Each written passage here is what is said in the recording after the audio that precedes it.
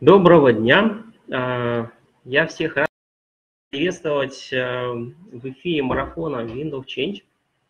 Меня зовут Николай Смирнов, а, и я сегодня буду выступать первым и с огромным удовольствием от лица тренингового агентства «Мастер-класс», которое я представляю. Хочу вас всех поблагодарить за то, что вы подключились к нашему марафону. Он будет длиться 5 дней. Утро, в 10 утра начинается программа в которой мы сможем а, осветить разные аспекты а, самых интересных, разнообразных аспектов, ну, а, нюансов управления людьми, самим собой, организациями в период таких сложных, такого сложного времени, в котором мы сейчас с вами все оказались. Я с большим удовольствием перехожу к теме сегодняшнего моего доклада. Это создание эффективных команд в ситуации постоянных изменений – и надеюсь, что буду вам полезен. Итак, э, друзья мои, э, в двух словах расскажу о себе, почему я вообще беру тему суперкоманды, почему она так актуальна, эта тема сейчас. Вообще, я этот доклад готовил э, к 2020 году и проводил ее на конференции Charm Expo, если вы были участниками конференции Charm Expo в 2020 году и видели меня в ряду докладчиков наверняка слышали часть этой презентации, которая была актуальна на тот момент. Вот на тот момент я уже говорил, что необходима суперкоманда, необходима команда, которая э, может гибко реагировать на большие вызовы, э, с которыми сталкиваются организации. И вот сейчас уже 23 год, и это стало актуальным по-настоящему, актуальность этой темы подросла до невозможности. И я немножко расскажу о том, что это за технология, что такое вообще суперкоманда, вообще, чем они отличаются от обычных классических команд или вообще рабочих групп. Эм, поделюсь некоторыми аспектами. Ну и эм, э, расскажу о том, какой у меня есть опыт работы с такими командами, потому что, конечно же, уже не одна организация активно использует эту технологию. Немножко э, о том, что такое команда. Команда отличается от объединения людей, то есть рабочей группы, например, или а, просто толпы тем, что у них есть общее что-то, мотив, идеал, какая-то целостность. А, и ключевая, ключевая особенность любой команды, то, что участники этой команды, я обращаю внимание на вторую часть определения, участники этой команды объединены поддержкой и несут коллективную ответственность за результат. Здесь ключевое слово – это а, коллективная ответственность. То есть команда – это все-таки объединение людей, где они все вместе а, работают а, по направлению к улучшению общих результатов. А, и здесь ну, не бесполезно вспомнить, например, такой эффект, как а, эффект Тренгельмана. А, очень интересный командный эффект, который исследовался а, социальными психологами. Суть этого Эффект заключается в следующем. Если взять группу людей, случайных людей, и попросить их поднять максимальный вес, который они могут, зафиксировать этот индивидуальный результат, эм, а потом начать этих людей делить на небольшие группы. Два человека, три человека, четыре человека, пять человек. И если этим людям давать возможность уже втроем, например, или в пятером поднимать э, максимальный вес, который они могут, то получится удивительная вещь. Э, окажется, что сумма максимального веса, которую может поднять а, группа, например, из трех человек, меньше, чем сумма, которую может поднять каждый э, из этих людей по отдельности. То есть командный результат в действительности хуже, чем результат одного отдельно взятого специалиста. Это было доказано экспериментально и повторяется. Я на тренингах иногда провожу нечто подобное, ну только не с весами, а с другими элементами. А, это действительно так. Если команда э, обычная, Э, она объединена общей целью, общим результатом, но ее эффективность падает в зависимости от количества людей, которые в этой команде находятся, потому что их мотивы групповые. Потому что, ну, как вы понимаете, в чем идея э, эффекта Рингельмана, это то, что когда я один, я только один несу ответственность. А вот если я работаю э, в группе, то здесь уже результат командный, и мы немножко можем ну, подрасслабиться, надеясь, что коллеги вытянут. А, и вот такой эффект командного результата, он хорошо известен социальным психологам. А, ну и, в принципе, вы знаете, что, например, в команду приходит новичок, его надо учить, соответственно, эффективность всей команды, например, падает. Это вот еще один признак а, рабочей команды. Если мы посмотрим с вами на эффективные команды, а где формируются в первую очередь эффективные команды? Там, где от командного результата зависит очень многое. Ну, в данном случае я имею в виду спорт, конечно же. Причем спорт высоких достижений, ну, в данном случае волейбольная команда. Здесь эффект Рингельмана уже не наблюдается, а, и более того, здесь происходит обратное, так называемый синергетическое, э, синергетический эффект, когда команда в целом работает лучше, чем отдельно взятый участник. За счет чего это достигается? Почему такие команды, как, например, волейбольная команда, а, работают продуктивнее, чем обычная рабочая команда, которая объединена коллективными целями? Хотя у них тоже коллективная цель. А, ну, во-первых, за счет тренировки, за счет огромного количества времени, проведенного вместе, а, отработки навыков сплоченности, отработки а, в буквальном смысле всех действий по подстраховке. А, ну, например, ни для кого из вас не секрет, что в волейбольной команде, если вы играли в волейбол, ну, почти все играли в волейбол там, в лагерях детских или там в школе, ну или в уже взрослом периоде сейчас есть возможность поиграть в волейбол, слава богу, много спортивных площадок разных. Вот э, если в волейболе ты пытаешься поднять мяч сложный, ты падаешь, и пока ты поднимаешься, в этом месте вот та зона, за которую ты должен был отвечать как игрок, она становится пустой. И противник, конечно, норовит туда, в эту зону как раз обратно вернуть мяч, если у них такая возможность будет. И что делают остальные игроки? А, а, они же не стоят и не смотрят на упавшего а, коллегу и думают, справится он или не справится. Что в хорошей волейбольной команде происходит? Происходит эффект разделения зоны ответственности, то есть а, если игрок на время выходит из игры, его зона делится между соседями. И они автоматически, безусловно, помогают друг другу. И это усиление, взаимное усиление. Вспомните в бизнесе, как это происходит. Вспомните совещание, когда мы решаем вопрос, кто что будет делать. Там есть такой эффект, давай я сделаю. Там есть такой эффект, когда я вижу, что, например, отдел маркетинга перегружен сейчас делами, им падает еще одна задача сверху. Вызываюсь ли я добровольцем, говорю, ребят, давайте я вам помогу, потому что у вас там сейчас какой-то трендец. Или мы просто смотрим на это и такие, справится, не справится? Ну, если справится, молодец, премию получит. Не справится, ну, надо работать над собой. Суперкоманды Конечно же, они построены по другому принципу. Не так, как э, это выглядит э, в привычной сфере, то есть в обычной бизнес-среде. А суперкоманды строятся по такой же схеме, по которой строится вот такая волейбольная команда, э, где спорт высоких достижений, где высочайшая результативность, где от ошибки одного человека зависит победа в чемпионате. А, как это возможно становится? То есть благодаря чему становятся вообще возможны такой, ну, такие команды? в бизнесе? Ну, для начала, конечно, стоит помнить о том, что в команде возникает огромное количество динамических процессов. Именно они постоянно снижают и не дают достичь той самой а, синергии за счет просто времени а, работы команд вместе.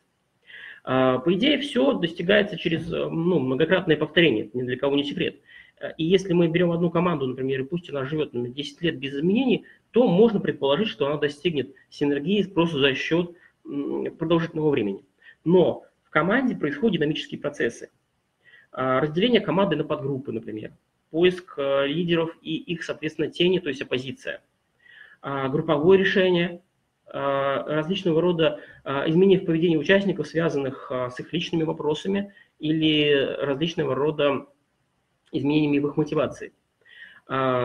Изменение ролей социальных внутри этой команды. То есть программа, команда постоянно меняется. Туда приходят новые игроки, они выходят оттуда, а, они исчезают, появляются, а у них меняются их, как бы их амбиции, меняется их настроение. Из-за этого она как бы бурлит все время. Не получается прийти к синергии. Она, эта синергия только достигается до хоть какого-то результата, сразу же, сразу же начинается какой-то динамический процесс, который все это врубает. А, Динамические процессы, их, как видите, достаточно много, и лидеры, которые работают с командами глубоко, стараются работать с каждым из них вполне осознанно. Мы сейчас не будем на них долго останавливаться. Давайте перейдем к пониманию, что такое суперкоманда и за счет какой технологии становится возможным это создавать быстро. А, в первую очередь, суперкоманда – это, конечно же, команда. Поэтому она действительно объединена общими целями и интересами. Без этого команд, не бывает. Что делает команду супер? А, тем, что они объединены общей идеей и самостоятельно принимают решения. У них нет коллективной ответственности, хотя результат у них общий, но а, ответственность у них индивидуальная. Возможны ли такие команды? Безусловно. Безусловно, возможно. Как говорил э, известный э, наш ученый, академик, Нобелевский лауреат Капица, он говорил, хороший менеджер – это тот, кто не мешает хорошим сотрудникам работать. Ну, тут я хочу сразу говорить, что такое доверие возможно в том случае, если вы работаете с ну, ученым составом, научными сотрудниками, там, где высокий уровень ответственности, зрелости и а, ну, как бы так, самостоятельности, что ли. Когда слово «хороший сотрудник» предполагает, что сотрудник действительно осознан и включен. А что делать, если ваша команда состоит не из ученых, не из инженеров, технологов, э, с, высшим, с двумя-тремя высшими образованиями и какими-то научными изысканиями? А что делать, если у вас обычные сотрудники? Есть ли у них такая вот э, способность принимать решения самостоятельно? В действительности не всегда так, и поэтому к этому нужно приходить, нужно развивать в людях ответственность, и это ключевой фактор, который необходим сейчас в современном меняющемся мире. Переложить ответственность, а, суметь людям помочь осознать а, их персональную ответственность за работу команды за работу вообще всего бизнеса, в котором вы работаете. Вот это, мне кажется, э, очень важным, и это то, на что я делаю самый большой акцент в работе сейчас с бизнесом. Э, передавать ответственность, разрешать сотрудникам самостоятельно, глубоко э, понимать, что происходит с бизнесом сейчас и какие решения нужно принимать на их уровне, не обращаясь вот к этой постоянной структуре управления. Пять признаков суперкоманд. А, первый признак ключевой – это принятие общей цели. То есть а, сотрудники должны не только знать стратегию компании, но они должны ее принять. Если я не принимаю, то есть внутренне не согласен с вашими хотелками, с вашими ожиданиями, что они все еще ваши, эти самые пресловутые ожидания, не мои, то есть у меня не осуществляется принятие то есть я живу просто, ну, чтобы ходить на работу и получать зарплату, а, то, соответственно, не будет никакой ответственности персональной. Только через принятие цели, понимание, куда мы вместе идем. А, обращаю внимание в подсказки а, HR крупных компаний. Или, еще раз обращаюсь к руководителям крупных компаний. Глобальная стратегия никогда не может вызвать принятия. То есть, если вы работаете в какой-нибудь федеральной компании, РЖД, Газпром, Роснефть. А, глобальная стратегия этой, всей этой компании, она настолько далека от э, отдельных подразделений, дочерних компаний, конкретных предприятий, что принять ее физически невозможно, только на уровне ценности. Это не цель. Поэтому очень важно вот для отдельных подразделений формулировать а, цель формулировать э, конкретные действия на ближайшую перспективу для вашей небольшой команды или вашего небольшого подразделения. Только через это. Глобальные ценности привить отдельным сотрудникам очень трудно. Честно скажу, очень трудно, почти нереально. Второй признак, который делает команду супер, это открытая мотивация по вкладу. Вот здесь уже обращаюсь к HR-специалистам в первую очередь, ну и к руководителям, которые могут влиять на этот фактор. Чем более прозрачная система мотивации, тем лучше. Я еще попозже расскажу, как это вообще в принципе выглядит, а, максимально прозрачная система мотивации. Но это очень важно. Если моя мотивация непрозрачна, если я всегда задаю себе вопрос, что я могу сделать, чтобы увеличить свой доход, или что нужно сделать нашей команде, чтобы увеличить доход, очень трудно добиться ответственности. Отсутствие иерархии и коллегиальное принятие решений. Те самые горизонтальные компании, те самые как бы, организации, в которых решение принимается не только демократически, но еще и на уровне полномочий той команды, которая решает э, и непосредственно исполняет этот вопрос. Казалось бы, это такая прогрессивная идея, но в действительности ничего прогрессивного в этой идее нет. Например, в период э, Великой Отечественной войны Э, процесс принятия решений опускался до уровня, э, ну, если мы говорим про производство, в буквальном смысле начальников мастерских, начальников участков. Например, вот такой известный есть пример, это танк Т-34, который ну, самый известный танк Второй мировой войны. Количество модернизаций, которое он претерпел с 1934 года, когда он был, собственно говоря, придуман до, до завершения войны, несколько тысяч. Причем а, на каждом предприятии, где его собирали, а, он отличался от того танка, который делался в тот же самый период на другом предприятии. Потому что Т-34 собирался на нескольких заводах. И они отличались по конструкциям, их внешне даже можно было отличить, а, по корпусу. У них разные корпуса были. Потому что каждый участок додумывал что-то, как-то оптимизировал процесс производства, стараясь а, ускорить производственные процессы и увеличить качество продукции. То есть не, не было такой центральной системы, которая бы сверху спускала правильную систему сборки.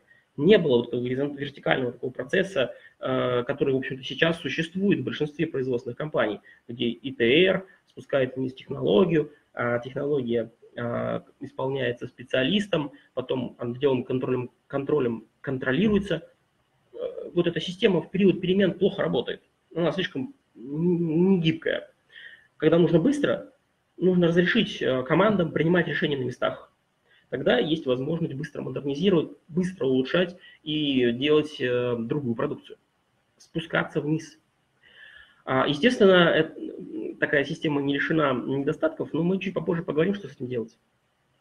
Синхронизация, взаимодействие по взаимоулучшению. То есть, опять же, пример с ТТ-4 заводы между собой постоянно обменивались инженерами. Инженеры постоянно ездили на передовую, смотрели, как работают а, танки, общались с танкистами для того, чтобы получать как можно быстрее информацию о том, что происходит и что нужно еще нового сделать. Это постоянная синхронизация. Постоянная синхронизация, ключевая идея. Чем больше таких синхронизирующих коммуникаций, тем эффективнее изменения. Если мы а, создаем такой поток, постоянного потока информации продукции, которую мы производим, о процессах, которые работают, о людях, которые пользуются продукцией, тем выше эффективность. Ну и, конечно же, регулярные ретроспективы. Период перемен, а, опять же, хороший пример э, сейчас это agile технология, которая просто прописывает еженедельную ретроспективу. Ну и также отсылка к Второй мировой войне, когда по итогам брифингов военно-воздушных сил в 1941 году наши летчики летали в парах, точнее в тройках они летали в тройках, и оказалось, что эта система неэффективна, потому что все время кто-то кого-то терял из виду. И по итогам ретроспектив, бесед после воздушных боев, схваток, пришли к пониманию, что немцы летают в парах. Это более эффективно, чем в тройках. И уже в, 40, в конце 41-го, начале 42 года уже наши летчики тоже пришли на полеты в парах. И это более эффективная система – за счет чего это стало возможно? За счет постоянных брифингов. И до сих пор военно-воздушные силы после каждого вылета делают а, ретроспективу полета. То есть, что там происходило, что кто увидел, что можно улучшить, как оптимизировать. Это постоянный процесс. Пять признаков эффективных суперкоманд. Это вот эти пять признаков, если мы их переносим на свои команды, если мы поддерживаем эту процедуру, если мы создаем эту приверженность, мотивацию и коммуникации возникают те самые пресловутые суперкоманды. Как вы понимаете, создать суперкоманду в режиме на весь завод или на всю компанию крайне трудно. А, начинать нужно сверху или с отдельных подразделений. Например, а, там компания, крупные компании Сбербанк, Газпром нефть, Газпром в целом не переходят глобально на систему работы с суперкомандами, но создают инновационные подразделения – от, ну, в отдельно взятых а, подразделениях, которые занимаются исключительно инновациями. Вот а, Павел спрашивает, чем же суперкоманда отличается от несуперкоманды? Ключевое отличие – это персональная ответственность каждого участника команды за а, общий результат. Это самое главное. Ну, вот эти вот пять признаков, которые я только что перечислил, они делают отличие команды от суперкоманды. В двух словах, Хочу объяснить, почему суперкоманды сейчас сверх необходимы. В чем их главная, скажем так, а, в чем их главная потребность. Вообще, а, я вам очень рекомендую почитать книгу Сидорова «Русская модель управления», которая сейчас очень актуальна. Она, правда, написана в 90-е годы, но написана она, во-первых, действующим HR-директором, во-вторых, в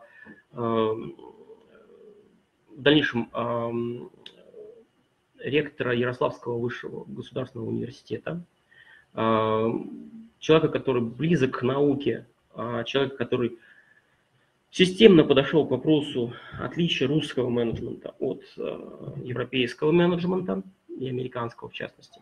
И он не проводит параллели, чем отличается американская модель и от японской, например, а он занимается исключительно исследованием в ретроспективе исторического процесса особенности э, управления в России, начиная от э, Киевской Руси, заканчивая 90-ми э, годами, когда писала, собственно книжка там, «Перестройка и приватизация».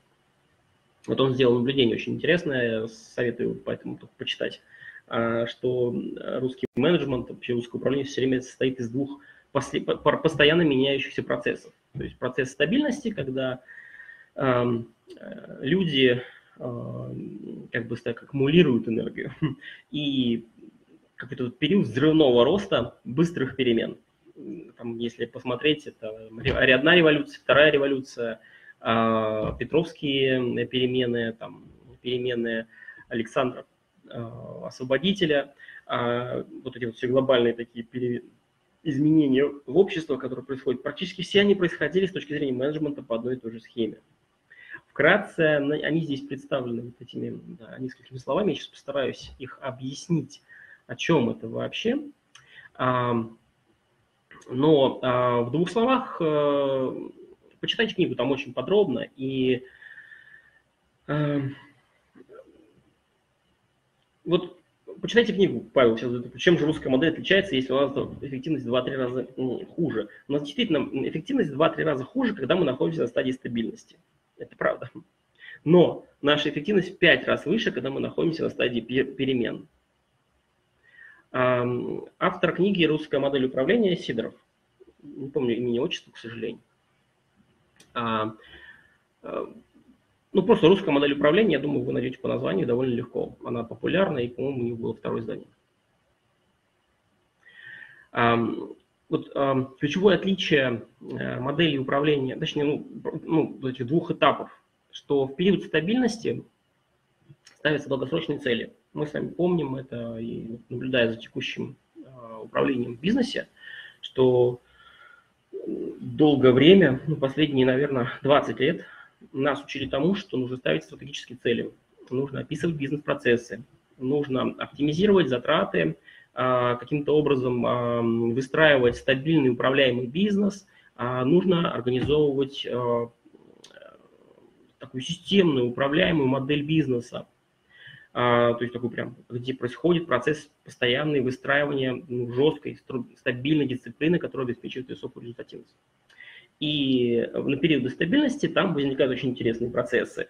Например, вырастает бюрократизация всего на свете, а, появляются злоупотребления на местах различного рода, попытки продвижения близких знакомых. Ну, там все, все эти схемы коррупционные, все они находятся на этапе стабильности именно потому, что система начинает формировать некую схему, то есть, то есть ну, по сути дела, э, спускать сверху законы, что-то ограничивающее то есть ограничивающие свободы различным образом. Ну а когда она опускается вниз до уровня исполнителя, а, как говорится, начинает работать эта схема, что российские законы ну, строгие, но все это компенсируется необязательностью их исполнения.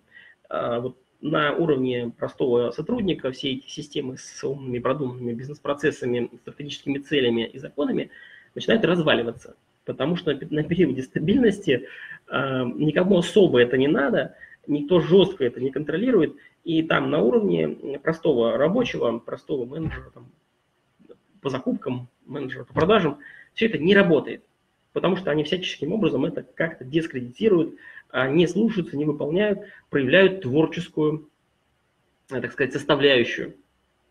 Ну, так работает наша ментальность просто, когда у нас сверху много законов, мы начинаем чувствовать себя свободными и как-то пытаемся от них уходить. Вот в период стабильности система работает неэффективно, откровенно говоря, но она аккумулирует ресурс. Она создает возможности и э, как бы создает перспективу для того, чтобы начать работать лучше. А, но потом начинается период перемен.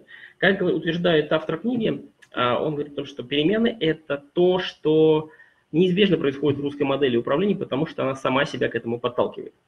Просто потому что накапливаются определенные составляющие, заставля... ну, как бы, которые приводят к тому, что в какой-то момент это становится неизбежным. И тогда модель начинает резко трансформироваться.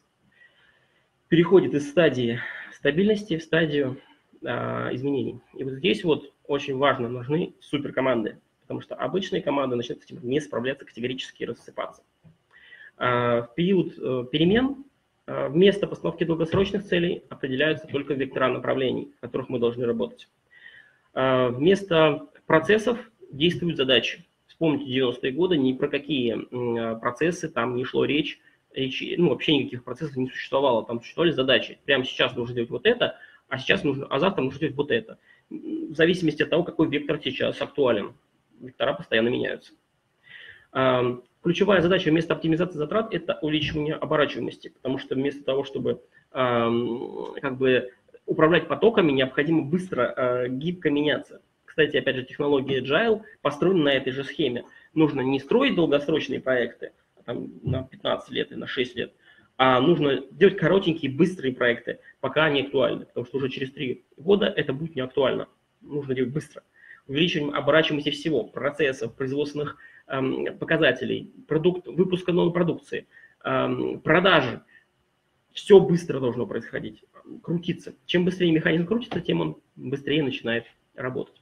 И вот этот период, он действительно оптимален для управления хаосе. Почему Россия становится все мощнее и лучше, когда ее начинают со всех сторон прессовать? Потому что включается вот этот механизм перемен, ну, по крайней мере, так утверждает а, автор книги. А, и это начинает работать.